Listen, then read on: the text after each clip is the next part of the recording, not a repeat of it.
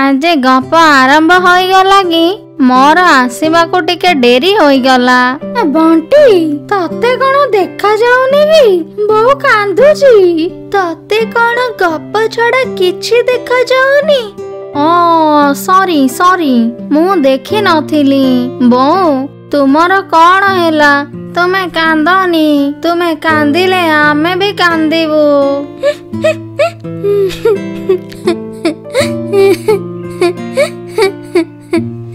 ବୋଉ ତୁ କାନ୍ଦିଲେ ଜମାରୁ ଭଲ ଲାଗୁନି ବୋଉ ଆଜି ମତେ ମୋ ବୋଉ କଥା ଭାରି ମନେ ପଡୁଛି ସେ ତ ଏବେ ସ୍ୱର୍ଗରେ ଆରାମ କରୁଥିବ ମୁଁ ଏବେ ମୁଁ ବି ଯାଇ ତା ପାଖେ ରହିବି ନା ବୋଉ ତୁ ଆମକୁ ଛାଡିକି ଯାଇପାରିବୁନି।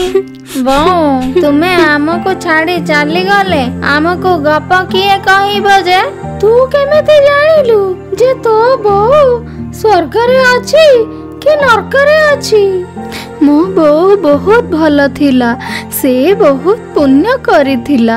ନିଶ୍ଚୟ ଠାକୁର ତାକୁ ସ୍ୱର୍ଗକୁ ପଠାଇଥିବେ। ବୋଉ ତୁମେ ବି ବହୁତ ଭଲ। ତୁମେ ନିଶ୍ଚୟ ସ୍ୱର୍ଗକୁ ଯିବ।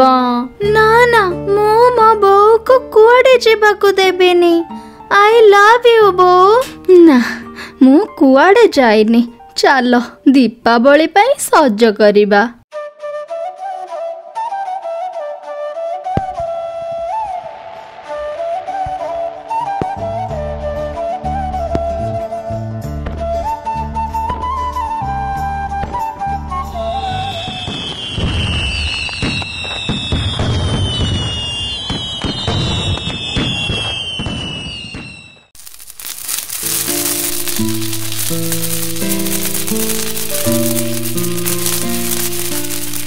କିରେ ବଡ ବଡୁଆଙ୍କୁ ଡାକିଲ ନା ନାଇଁ ଖାଲି ବାଣ ଫୁଟଉଛ ହଁ ବୋଉ ଆମେ ଏବେ ଡାକୁଛୁ ବଡ ବଡୁଆ ଅନ୍ଧାରରେ ଆସି ଆସି ଆସି ଚାଲୁରେ ଯାଇ ବାଇଶି ପାହାଚେ ଗଡ଼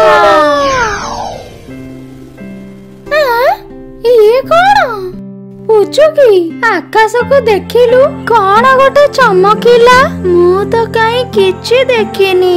ବାଣ ଫୁଟୁଥିବ ବୋଧେ? ପୁଞ୍ଚୁକା ଆଜି ତୋ ପାଖକୁ ଭୂତ ଆସିବ। ହା ହା ହା ହା ହା ହା ହା ବୋଉ ମୁଁ ଆଜି ତୋ ପାଖେ ଶୋଇବି। ମତେ ଭାରି ଡର ଲାଗୁଛି। ହଉ ଆସେ ଶୋଇପଡ଼ିବୁ।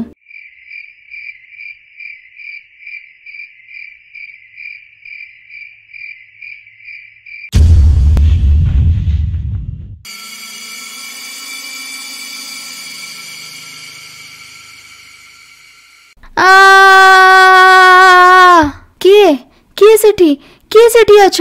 କିଏ ଅଛ! ପୁଚୁକି ପୁଚୁକି ଏ ପୁଚୁକି ମୁଁ ତ ବୋଉ ଆସିଛି ମତେ ଚିହ୍ନି ପାରୁନୁ। ବୋଉ ବୋଉ ତୁ ଆସିଛୁ ତୁ ମୋ ଡାକ ଶୁଣିଲୁ ତୁ ଆସିଛୁ ତୁ ମତେ ତୋ ସାଙ୍ଗରେ ନେଇଯିବା ପାଇଁ ଆସିଛୁ ନା? ତୋ ମୁଣ୍ଡ ଖରାପ ହୋଇଗଲାଣି ନା କଣ? ମୁଁ ତତେ କାହିଁକି ନେବି? ପୁଚୁକି ଉଠ ପୁଚୁକି ଭୂତ ଭୂତ ଆସିଛି। କାହିଁକି ଅଧ ରାତିରେ ମଜା କରୁଛୁ? ଯା ଶୋଇପଡ଼ିବୁ। ନା ମୁଁ ମଜା କରୁନି। ତୁ ଚାଲୁନୁ ମୋ ସାଙ୍ଗେ। ହଉ ଚାଲେ। ତୁମେ ମାନେ ଡର ନାହିଁ। ଇଏ ମୋ ବୋଉ। ମତେ ଦେଖା କରିବାକୁ ଆସିଛି। ତତେ ଦେଖା କରିବାକୁ ନୁହେଁ। ତତେ ବୁଦ୍ଧି ଶିଖାଇବାକୁ ଆସିଛି। ପୁଚୁକା ପୁଚୁକି ଆଜି ତୁମକୁ ବୋଉ ଗପ କହିନି ନା? ନା ନା। ଚାଲ ମୁଁ ଆଜି ତୁମକୁ ଗପ କହୁଛି।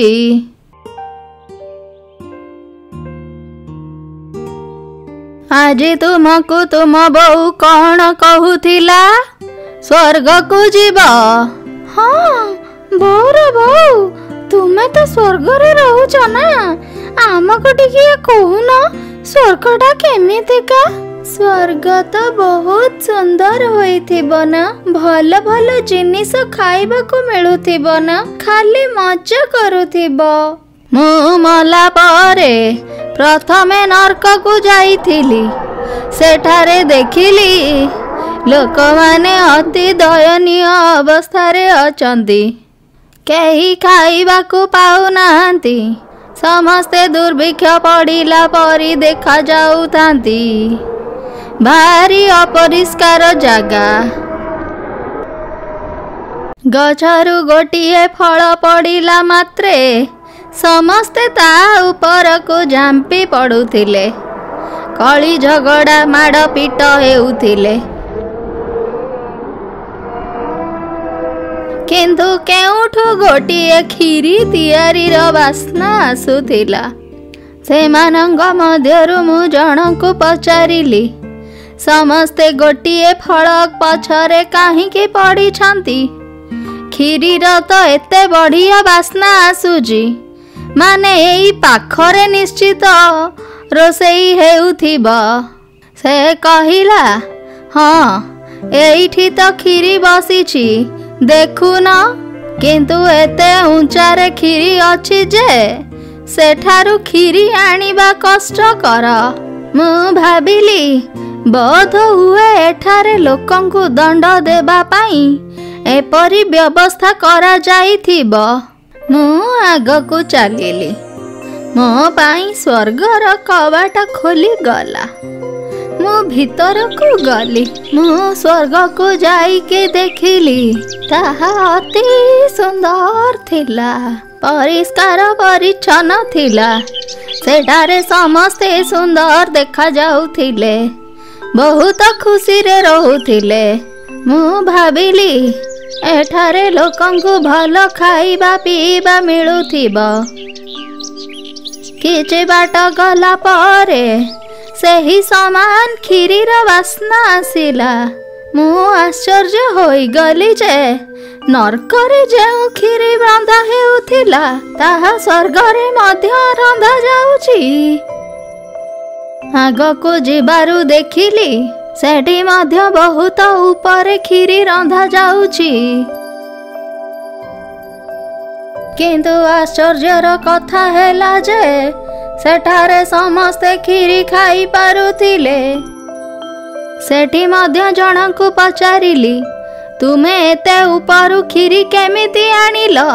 ସେ କହିଲେ ଆମେ ଜଣଙ୍କ ଉପରେ ଜଣେ ଠିଆ ହୋଇ କ୍ଷୀରି ପାଖରେ ପହଞ୍ଚି ଗଲୁ ଓ ସମସ୍ତେ କ୍ଷୀରି ଖାଇପାରିଲୁ ସେମାନେ ମୋତେ ମଧ୍ୟ କ୍ଷୀରି ଦେଲେ। ସ୍ୱର୍ଗରେ ସମସ୍ତେ ମିଳିମିଶି କାମ କରନ୍ତି ଓ ସଫାସୁତୁରା ରଖନ୍ତି। ସେଥିପାଇଁ ସମସ୍ତେ ଭଲରେ ରୁହନ୍ତି।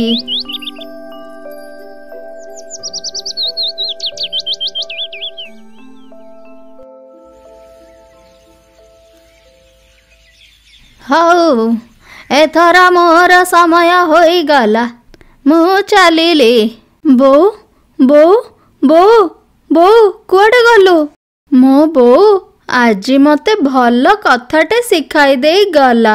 କଣ ବୋଉ? କଣ ବୋଉ? ଯଦି ଆମେ ମିଳିମିଶି କାମ କରିବା ତାହେଲେ ସ୍ୱର୍ଗ ଯଦି ଆମେ କଳି ଝଗଡ଼ା ଲାଗିବା ତାହେଲେ ନର୍କ। ହଁ ଆମେ ଯଦି ସମସ୍ତେ ନିଜ ନିଜ କାମ ଠିକରେ କରିବା ତେବେ ପୃଥିବୀକୁ ବି ସ୍ୱର୍ଗ କରିପାରିବା। କଥାରେ ଅଛି ପରା ଏଇଠି ସ୍ୱର୍ଗ ପୁଣି ଏଇଠି ନର୍କ। ମୋ କାମ ହେଲା ଗପ କହିବା। ମୁଁ ମୋ କାମ ଠିକରେ କରିବି। ମୁଁ ତ ବୁଝିଗଲି। କ'ଣ ଆପଣ ବୁଝିଲେ? ଆମ ବୋଉର ଗପ ପେଡ଼ି ଠାରୁ ସବୁବେଳେ କିଛି ଶିଖିବା ପାଇଁ ଆମ ଫେସବୁକ୍ ଓ ଇନଷ୍ଟାଗ୍ରାମ ପେଜକୁ ଲାଇକ୍ ଓ ଫଲୋ କରନ୍ତୁ। ଲିଙ୍କଟା ଆପଣଙ୍କୁ ତଳେ ଥିବା। ଡେସ୍କ୍ରିପସନ ବକ୍ସରେ ମିଳିଯିବ। ଯଦି ଆପଣଙ୍କୁ ଆମ ବୋଉର ଗପଟି ଭଲ ଲାଗିଲା ତେବେ ଲାଇକ୍ କରିବାକୁ ଭୁଲିବେନି। ତମକୁ ଯଦି ଭଲ ଲାଗିଲା ତାହେଲେ ତମ ସାଙ୍ଗ ସାଙ୍ଗରେ ବି ସେୟାର କର। ଏକୁଟିଆ ଖାଲି ଦେଖିଦବ କି? ଦେଖିବାକୁ ଭୁଲିବେନି। ସବୁ ରବିବାର ସକାଳ ଦଶଟା ବେଳେ ମୋ ବୋଉର ଗପ ପିଢ଼ି ଗପଟି କେମିତି ଲାଗିଲା? ଏମିତି ଗପ ଶୁଣିବା ପାଇଁ ମୋ ବୋଉର ଫଟୋ ଉପରେ କ୍ଲିକ୍ କରି ସବସ୍କ୍ରାଇବ କରନ୍ତୁ। ଗପରୁ କଣ ଶିଖିଲେ ସବୁ କମେଣ୍ଟରେ ଲେଖିବ?